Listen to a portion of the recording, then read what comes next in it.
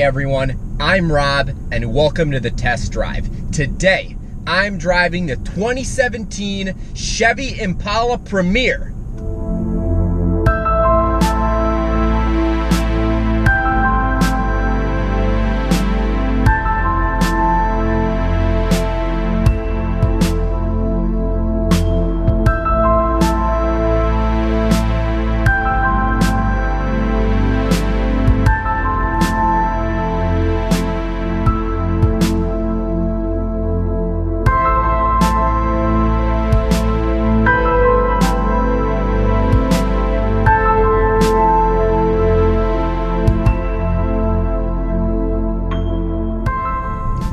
Chevy Impala, or Chevy Impala, however you want to pronounce it, comes in three different trim levels. You have the base LS, the mid-level LT, and then the top level Premier, which is what I'm driving today. Now this Impala is fortunately powered by the V6 engine. There's also a four-cylinder Impala as well, which is not turbocharged or anything. Um, both engines, both options are naturally aspirated. So I'm really happy to be driving the V6 today instead of the inline four cylinder. Now the Impala is Chevy's full-size sedan. So it is larger than the midsize Malibu and it competes against cars like the Ford Taurus, the Dodge Charger, the Nissan Maxima, this generation of the Impala was completely redesigned for the 2014 model year. And prior to the 2014 model year, it was like Impalas were really just for rental car fleets and for, you know, company car fleets, things like that. It wasn't, you know, there were a lot of people that had them, but it wasn't, you know, didn't have that excitement factor that other cars that it competed against had. It really was that car that, you know, you were very likely to get when you walked onto the rental car lot. And that's not really the case anymore with this redesign. So we're going to start with the exterior. The Premier is obviously, at least in my opinion, the best looking Impala that you can buy. The Premier really is a very attractive car. It's it's designed very well. You have large rims, you have dual exhaust. It has great angles. I love the look of the front. It's quite aggressive looking. You get a lot of chrome. This is just a very well designed car from the exterior. I think that the Maxima is certainly a better looking car in this space, but it, it definitely, to me, looks better than the Taurus. Um, really doesn't look better than the Charger. I like the look of the Charger better. Uh, but again, it's an attractive car. Now, the interior of the 2017 Impala Premier is also very comfortable. I mean, I, I really am impressed with the quality and the detail that was put into the interior of this car. I mean, it, it's very nicely designed. You have very nice big buttons. I love the look of the climate control, especially um, in low light. You know, the gauges look good, uh, the touchscreen looks good, and it's very comfortable. I mean, these are very comfortable, soft leather seats. I wish that the headrests um, were more comfortable. They're really not. It feels like it has something hard in the middle of it, which is unfortunate. Um, the headrests, actually, to me, they kind of suck. But everything else is very comfortable. Another area that could be improved in the interior would be the steering wheel. It's not very soft. I don't particularly like the look of it. I think it it looks almost identical to the steering wheel in the Chevy Tahoe, uh, you know, which is a very large full-size SUV. Uh, you know, it just shouldn't really have the same steering wheel, and, and it's just this one isn't very sporty. It's it's just not very nice looking, and it doesn't feel that great either. Ford steering wheels are much softer. But this car does have plenty of room. I can sit behind myself with absolutely no issue. You know, somebody significantly larger than me could also sit behind me and have no issues. It's a very roomy car. It's very comfortable. It also rides very smoothly. I mean, that's something where I think about the Maxima. Uh, and the Impala does have a smoother ride. I mean, you don't feel bumps. It, it just it feels very good. It's very comfortable on a long trip. That's what I did today with it.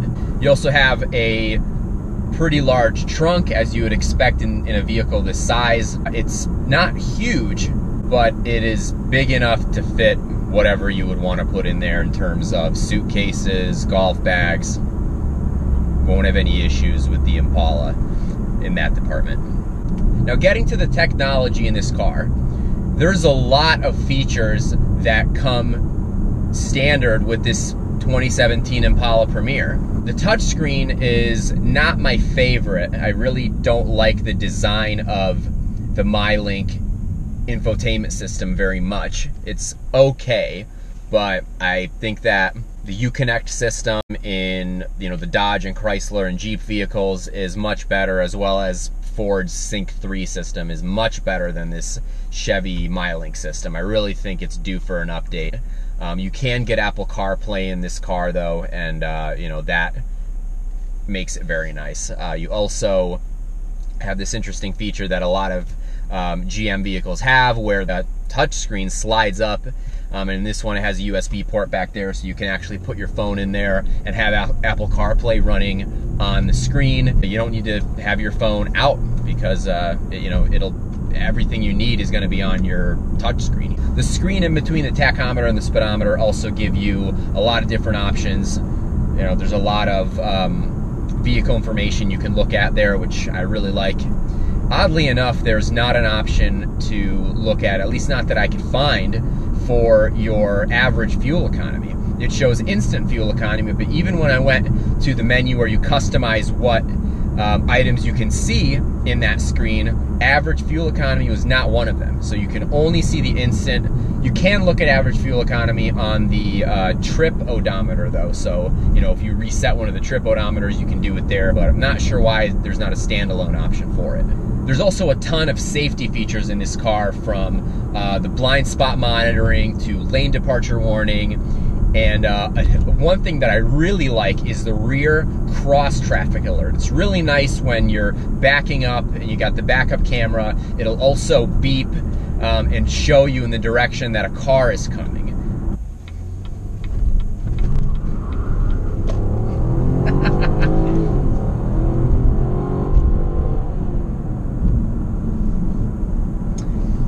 and that brings me to what's most important to me and that is the performance of the 2017 Impala Premier.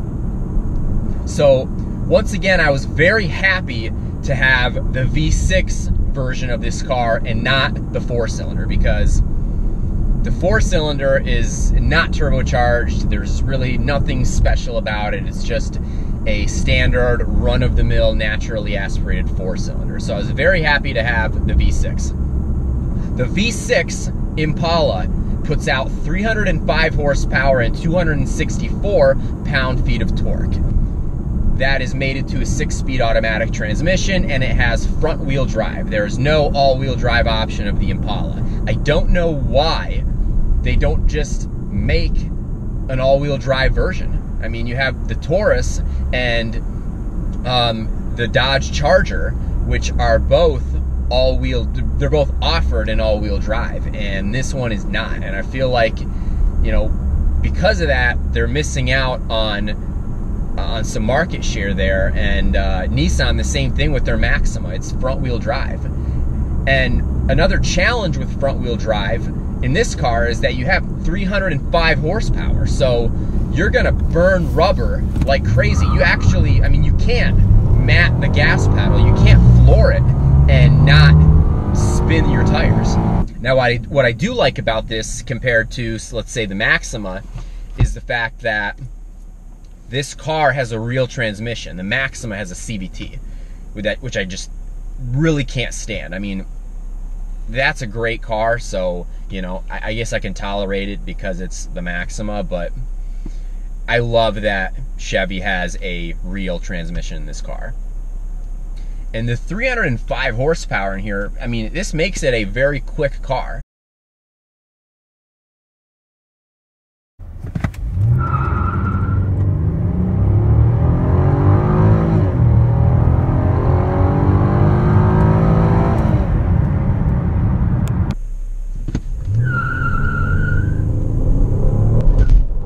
That's ridiculous. That is ridiculous wheel spin. that is so excessive.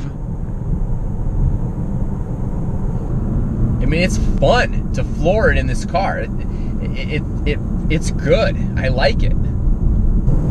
The V6 is also rated at 28 miles per gallon, while the four cylinder is rated at 30 miles per gallon on the highway. So for me, I don't see a reason, other than price obviously, uh, not to get the V6 because you get so much better performance.